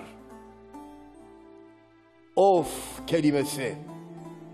Of. Öf. Deriz ya öf. Öf. O kelimeyi buldular. Nereden buldular? Oraya yazmamış melekler bırakmışlar, getiriyorlar. Tamamlıyorlar. Meğer anasına bir gün of demiş. Babasına of demiş veya. Ve la tekul lehuma uffin ve. Kur'an diyor ki onlara of deme, onları sakın azarlama. Azarlamış. Ofu koydular kötüye, kötü ağır bastı. Eyvah! Dediler ki cehennem. Hadi bakalım. Cehenneme doğru gidecek. Terazi, diğer terazide herkes için bir terazi mi kurulacak? Bir terazi bütün günah ve sevapları mı ölçecek? Tartışmalı. Bazı alimler öyle diyor, bazıları öyle diyor. Önemli olan terazi var yani kısacası. Adalet terazisi var. Sonra dediler ki kötünün de babasının da dediler hesabını görün. Babasının da terazisini koydular. Babası daha kötü, evladından daha kötü. Günahı daha çok. Dediler o da cehenneme, o da cehenneme. Günahları kadarınca temizlenecekler. Cehenneme doğru sürükleniyorlar. Boyunlarında zincir var, ellerinde zincir, ayaklarında zincir. Aşağılana, aşağılanarak melekler tarafından cehenneme doğru sürükleniyorlar. Cehennemi anlatmalı mıyız konferanslarımızda, sohbetlerimizde? Allah anlatmışsa bizim ne haddimize anlatmamak. Kur'an anlatmış. Biz her şeyi nasıl süt liman yapalım? Adam öldür, düşmanlık yap, insanları aldat, yalan söyle, milletin milletin canına kastet, milletin iffetine, namusuna, namaz yok, oruç yok, zekat yok, hac yok, her türlü kötülük var, iğrençlik var. Sonra de ki ben cennete gireceğim. Çok girersin, çok beklersin daha. Niye girersin? Önce bu günahlarının karşını bir öde bakayım. Terazi bu sefer yanlış olur. Ötekisi işte bunların hiçbirini yapmadı. Başını iyilikten, e, rahmetten, merhametten kaldırmadı. İkisini bir yere koyar mısın ikisini? Biri iyilikti, biri kötülük. Biri karanlık, biri aydınlık. Karanlıkla aydınlık beraber olur mu? Allah ayırmazsa haşa adil olmamış olacak ki haşa bin kez haşa. Allah adillerin adilidir. Allah zulmetmedi kullar kendilerine zulmettiler. Babasının da günahı çok. Evlat da berbat, baba da berbat. İkisi de berbat. Melekler dediler ki cehenneme yürü artık. Ama bir şey var. Ortada bir şey var. Çocuk. Evlat var ya evlat. Yürüyor yürüyor arkaya bakıyor. Yürüyor yürüyor arkaya bakıyor. Cehenneme doğru sürüklenirken gözü arkada. Arkada ne var? Arkada ne bekliyor acaba? Bir beklentisi var. Bir derdi var. Derdini anlatacak. Beklentisi o. Allah biliyor. O her şeyi bilendir. Dedi ki kulumu durdurun bakayım şu genç kulumu, evladı durdurun bakalım. Sorun ona, derdi ne? Niye arkaya dönüp dönüp bakıyor şöyle? Bir sorun bakayım. Allah biliyor. Melekleri şahit tutmak istiyor. Oradan da biz bilgileneceğiz ya. Dediler ki delikanlı söyle derdin ne? Arkaya dönüp dönüp bakıyorsun. Dedi ki delikanlı benim bir isteğim var Rabbimden. İletirseniz kerem edersiniz. Söyle dediler.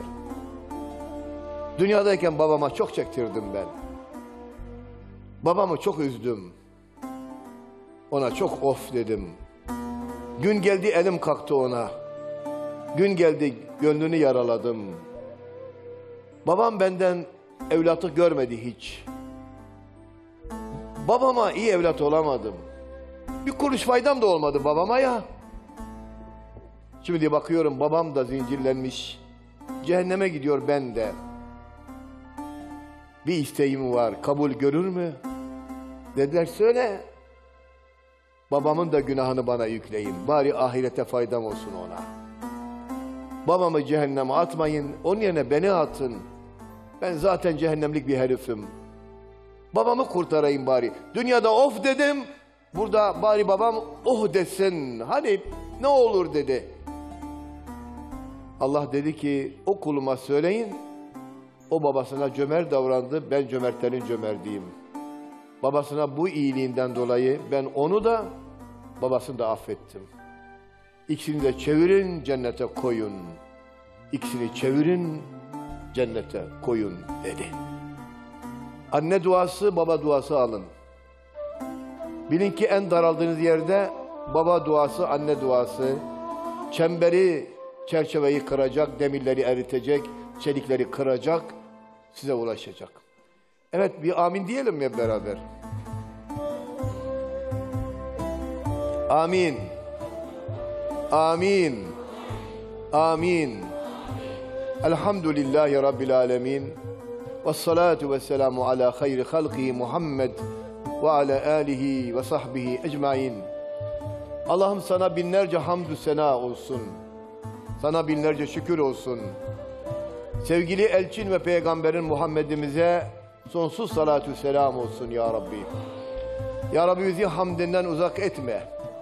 Şükründen uzak etme ya Rabbi. Le in şekertum le ezidennekum ve le in kefertum inne azabi leşedid buyurmuştun. Şükrederseniz artırırım. Küfrederseniz adabım şiddetlidir demiştin. Hamdimizi ve şükrümüzü yapıyoruz. Şükür ve hamdimizi kabul eyle ya Rabbi. Sevgili elçini makamını yükselt ya Rabbi. Peygamberimizin Medine'sine buradan selam gönderiyoruz. Selamımızı ulaştır ya Rabbi. Ya Rabbi biz Muhammed el Emin'den razıyız. Sen de bizden razı ol ya Rabbi. Bizi razı kıl ya Rabbi. Dileklerimizi kabul eyle ya Rabbi. Niyetimizi kabul eyle ya Rabbi. Yönelişimizi kabul eyle ya Rabbi. Kereminden bizleri al ya Rabbi. Şefkatinle muamele buyur ya Rabbi. Sen mazlumların Rabbısın. Sen gönlü kırıkların Rabbısın. Kırıksa gönlümüz, düşmüşsek zulme, mazlumiyete, nefsimizin zulmüne uğramışsak, kereminle bizleri koru ya Rabbi. İlahi ya Rabbi, sen lütfettin mi lütfunu kimse engel olamaz. Sen lütfetmedin mi kimse lütuf edemez. Lütfundan, kereminden bizi nasipdar eyle ya Rabbi. İlahi ya Rabbi, evlatlarımız var. Bir kısmını yetiştirebildik, bir kısmını belki yetiştiremedik. Ya Rabbi evlatlarımıza İslami şuur verebilmeyi nasip eyle. Kur'an şuuru vermeyi nasip eyle ya Rabbi. İman şuuru vermeyi nasip eyle ya Rabbi. Evlatlarımızın elinden, dilinden, kalbinden senin zikrini, şükrünü uzak etme ya Rabbi. Kötü alışkanlıklardan evlatlarımızı muhafaza eyle ya Rabbi. İlahi ya Rabbi, evlatlarımızın sağlığını koru. Onlara şifa ver ya Rabbi. Her türlü hastalıktan, kaza, bela, musibet, afet, şeytanın vesveselerinden, kötü arkadaştan, kötü sırdaştan, kötü ortamdan, kötülerle muhatap olmaktan evlatlarımızı muhafaza buyur ya Rabbi. Muhafaza buyur ya Rabbi. Muhafaza buyur ya Rabbi. Ya Rabbi şu anda şu saatte gecenin bu ilerleyen saatinde aslında insanların çoğunun uykuda olduğu bu saatte senin rızan için kalkmış olan bu müminlerin var ya Rabbi. Sen görüyorsun, işitiyorsun, meleklerin bunları rapor ediyor. Ya Rabbi amel defterimizi düzelt ya Rabbi. Amel defterinde hayır hasenat yazılanlardan eyle ya Rabbi. Okunan ezanlar hürmetine, rüzgarda sallanan al bayraklı, şerefli hilalli, yıldız efendim kırmızı ve beyaz olan o bayraklarımız bayrağımızın geleceği hürmetine ya Rabbi bizi, ülkemizi, toprağımızı her türlü şerden uzak eyle ya Rabbi. İlahi ya Rabbi hastalarımıza şifa nasip eyle. Dertlilere deva nasip eyle. Borçlulara eda nasip eyle. Son nefese kelime-i şehadet nasip eyle. Buyurun hep beraber söyleyelim. Eşhedü en la ilahe illallah ve eşhedü enne Muhammeden abduhu ve resulü diyerek çene kapamayı hepimize nasip eyle ya Rabbi. Ya Rabbi kitabından koparma bizi. Mihrabından koparma bizi. Ya Rabbi peygamberinden koparma bizi. Duadan mahrum etme bizi ya Rabbi. Dualarımızı kabul edilen dualardan eyle ya Rabbi. Ya Rabbi içimizden bir kişinin bile şu anda Türkiye'de bütün ülkemizde veya dışarıda bizi izleyip de amin diyenlerden bir kişinin bile amini kabul oluyorsa onun hürmetine hepimizin dualarını kabul eyle ya Rabbi. İçimizdekini bilensin, okuyansın ya Rabbi. Bizi mahcup, perişan etme ya Rabbi. Bize acı ya Rabbi. Bir fakirin istediği gibi senden kerem istiyoruz ya Rabbi. Kereminden bizleri mahrum etme ya Rabbi. Amin. Amin ya Rabbi. Velhamdülillahi Rabbil Alemin. Bütün dualarımızın kabul niyetiyle Allah rızası için El Fatiha. Efendim eee duymayan kardeşlerimiz, sağır kardeşlerimiz gelebiliyorsa buraya gelsinler. Beraber fotoğraf çekelim onlarla. Buyurun gelin şöyle. Buyurun buyurun gelin. Bizim misafirlerimiz var burada. Sağır olan, duymayan kardeşlerimiz. Kapanışı ben onlarla bir görüntü vererek kapatmak istiyorum. İftarımız saat iftarımız saat 19.20'de olacak inşallah. Hadi hızlı gelin, hızlı gelin. Hızlı gelin, gelin bakalım, gelin. Gelin, gelin bakalım. Evet bu kardeşlerimiz duymuyorlar. Şuma siz de içine girmiş oldunuz. Bu kardeşlerimiz duymayan kardeşlerimiz. Gelin gelin çabuk gelin çabuk çabuk çabuk. Biz onların da onların da dualarını istiyoruz. Allah onların da dualarını kabul etsin. Allah hepimizin niyetlerini halisane ve temiz eylesin efendim. Allah yar ve hadi ellerinizi şöyle sallayın. Şöyle yapın bir de. Şöyle yapın. Evet. Bunda, bu da teşekkür ederim ve alkış demekmiş. Onu da öğrenmiş olduk. Biz de şu anda böyle yapıyoruz hep beraber. Evet. Teşekkür ederim yayın ekibine de teşekkür ederim. Ee, bize tahammül ettiği için bu saniyelerden dolayı. Efendim Allah hayırlı, bereketli ömürler versin inşallah. Allah yar ve yardımcınız olsun efendim.